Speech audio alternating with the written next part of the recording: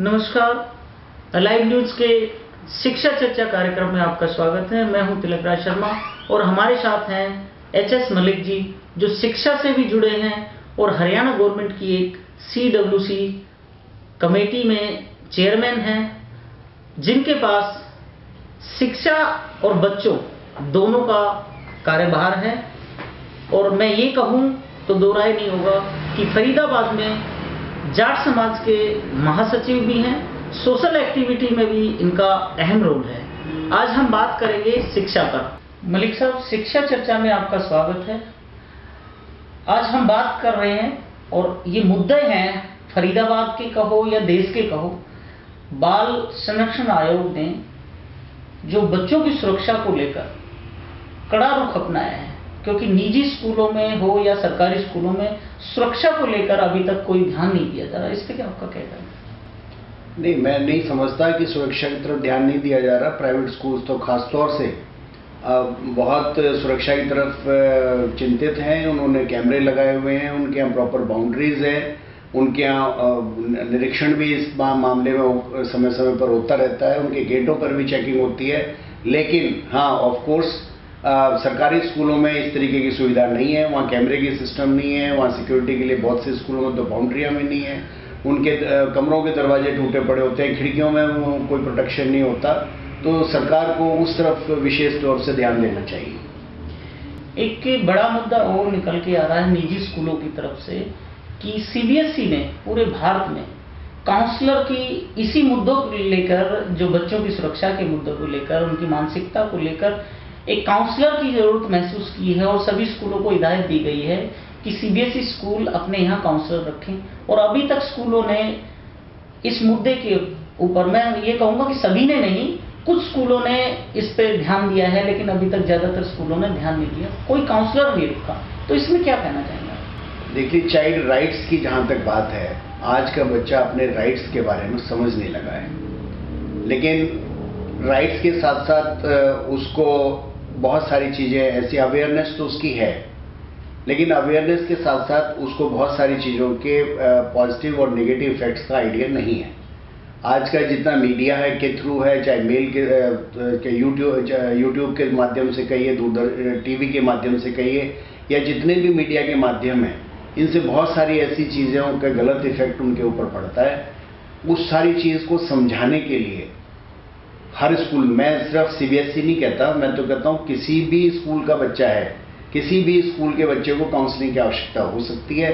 उसको काउंसलिंग करने के लिए हर स्कूल के अंदर काउंसलर होना चाहिए। और वैसे तो टीचर अपने आप में भी बहुत बड़ा एक काउंसलर है, उसका एक्सपीरियंस है, बच्चों के साथ वो डील करते करते ही सारी ज़िंदगी निकाल देता है। लेकिन फिर भी एक एक्सपर्ट काउंसलर हर स्कूल में हो तो बहुत बेहतर होगा। मलिक साहब सीडब्ल्यूसी बच्चों के हित के लिए फरीदाबाद में क्या हितेशी कार्य कर रही है और किस तरीके से कर रही है? सी डब्ल्यू सी सरकार द्वारा नॉमिनेटेड मेंबर्स और एक चेयरमैन की पाँच आदमियों की कमेटी होती है। इसका जो भी निर्णय होता है मेजोरिटी पर होता है। ये first class bench magistrate bench की पावर्स रखती हैं और बच्चों के संबंध में वो बच्चे जिनको need care of care of need and protection इसमें बच्चे को शेल्टर चाहिए, बच्चे को फ़ूड चाहिए, बच्चे को क्लोथिंग चाहिए, बच्चे को एजुकेशन चाहिए।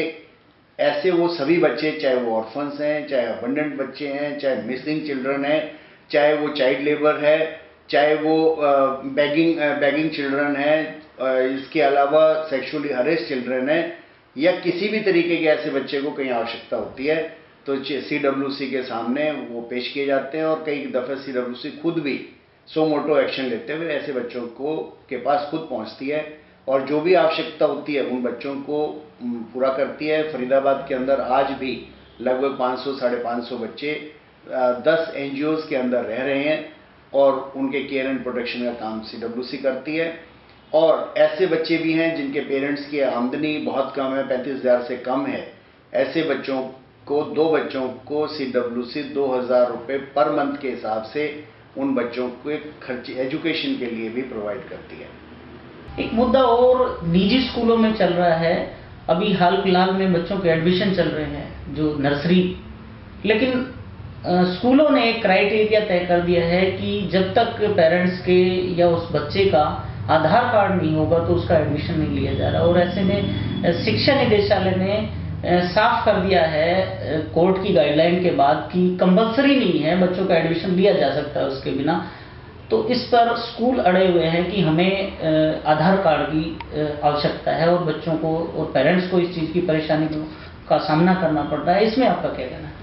देखिए, आधार कार्ड किसी भी बच्चे का बनता है तो वो बच्चे के लिए बेहतर है। बच्चे के भविष्य के लिए बेहतर है। लेकिन हाँ एडमिशन्स के लिए कंपलसरी पहले ही गवर्नमेंट ने किया हुआ था। इसीलिए स्कूल से आधार कार्ड मांग रहे थे, लेकिन अब सुप्रीम कोर्ट की गाइडलाइंस आने के बाद डायरेक्टरेट ने भी इशू कर दिया है कि आधार कार्ड कंपलसरी नहीं है। मैं नहीं समझ रहा कि कोई स्कूल ये ज्ञान होने के बाद कोई किसी को परेशान कर रहा होगा। मलिक साहब, आप चाइल्ड वेलफेयर कमेटी से भी जुड़े हुए हैं, हरियाणा सरकार की।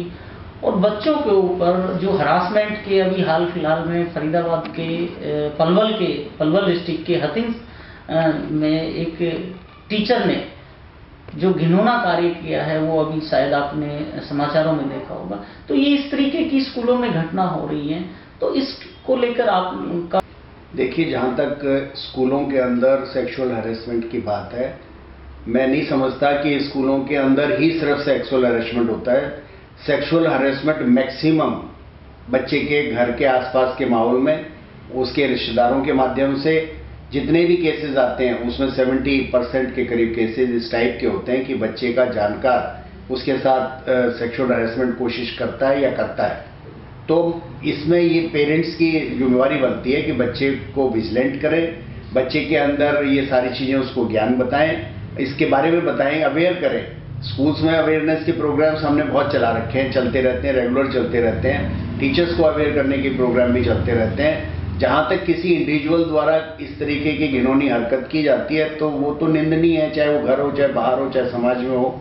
उसकी तो मानसिकता का के कारण ऐसा होता है। बाकी पेरेंट्स को मैं रिक्वेस्ट करना चाहूँगा कि वो स्कूल्स में तो टीचर्स अवेयर करते हैं। वो भी बच्चे को गुड टच बैड टच और उसके बारे में अवेयर कराएँ। और खुद विजिलेंट रहें कि कोशिश करें कि ऐसा किसी को चांस ही ना मिले। एक सवाल फिर स्कूलों से ही है कि निजी स्कूलों की एसोसिएशन ने अभी हरियाणा विभाग को, हरियाणा शिक्षा विभाग को एक फॉर्म टू को लेकर अपनी परेशानी दाखिल की है। और ये फॉर्म टू लगातार दबाव बनाया जा रहा है स्कूलों पे अभी तक वो स्कूल भर नहीं पा रहे हैं और, इस चीज़ को, परेशानी को लेकर वो शिक्षा विभाग के पास भी जा रहे हैं। तो ऐसे में इस फॉर्म टू का क्या इस्तेमाल है और क्या नहीं है? इसके बारे में क्या? देखिए, जब एजुकेशन एक्ट हरियाणा के अंदर लागू हुआ, उस समय जितने भी सीबीएसई से एफिलिएटेड या किसी और बोर्ड से एफिलेटेड स्कूल्स थे, उन्होंने स्कूल से एनओसी लिया था और हरियाणा एजुकेशन एक्ट के मुताबिक उन्हें डीम्ड रिकॉग्नाइज समझा गया था। कोई उनकी स्पेशली कोई रिकॉग्निशन के लिए उनसे एप्लीकेशन नहीं मांगी गई थी तो आज ही इसकी आवश्यकता कहाँ पड़ गई। मैं तो कहता हूँ इससे अननेसेसरी हरेसमेंट ही है स्कूल्स को। है स्कूल लगातार खुल रहे हैं। लेकिन आपको ये भी पता होगा कि आप ही के फरीदाबाद के अंदर ऐसे अनऑथराइज अनलीगल स्कूल लगातार खुल रहे हैं। उसके ऊपर आपका क्या कहना है? ये सरकार इस बारे में चेक करे अगर अनऑथराइज खुल रहे हैं तो उनको बंद कराए। सर अंतिम सवाल है ये बच्चों के लिए है।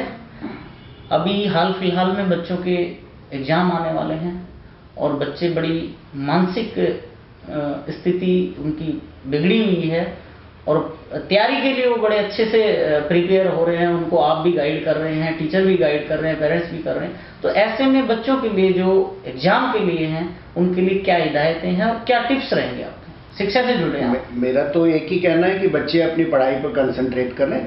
और ये नहीं है कि सिर्फ़ पढ़ाई के साथ साथ वो एंटरटेनमेंट ना करें, कुछ समय ज़रूर मनोरंजन के लिए भी निकालें और एग्जामिनेशन जो है वो कंसंट्रेशन से सफल होते हैं तो बच्चे अपने कंसंट्रेशन करें, बाकी चीज़ों से मैं भी अपने इंजॉयमेंट भी करें और साथ के साथ वो कंसंट्रेट करके बेहतर रिज़ल्ट आ सकते हैं।